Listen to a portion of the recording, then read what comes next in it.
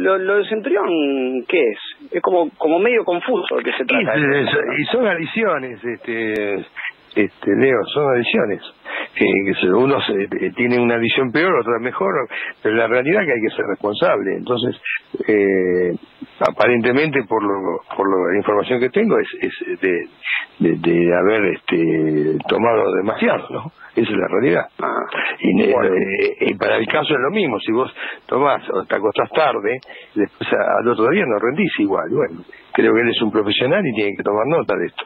Nosotros lo queremos a Centurión mucho, pero eh, lo queremos al 100%, la verdad. Si no, este, realmente no, no, no, es el, no es el jugador que fuimos a buscar.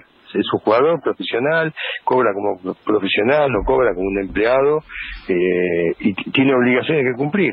Cuando él firmó el contrato, firmó como, como todos los jugadores, obligaciones, el tema imagen y también el cuidado, que él, el jugador de Racing, este, todo el día y toda la noche, no solamente los 90 minutos. Él no es, un los jugadores firman un compromiso con el club en el cual la imagen del jugador es muy importante también y él tiene que cuidarla como todos los que, están en Racing. Esperemos que todo se solucione, que, que Centurión la rompa en Racing y que, que, todo de la mejor manera. Está, eh, está en las manos de él porque sabemos que eso lo, lo, puede hacer, pero también tiene que cuidar su vida privada.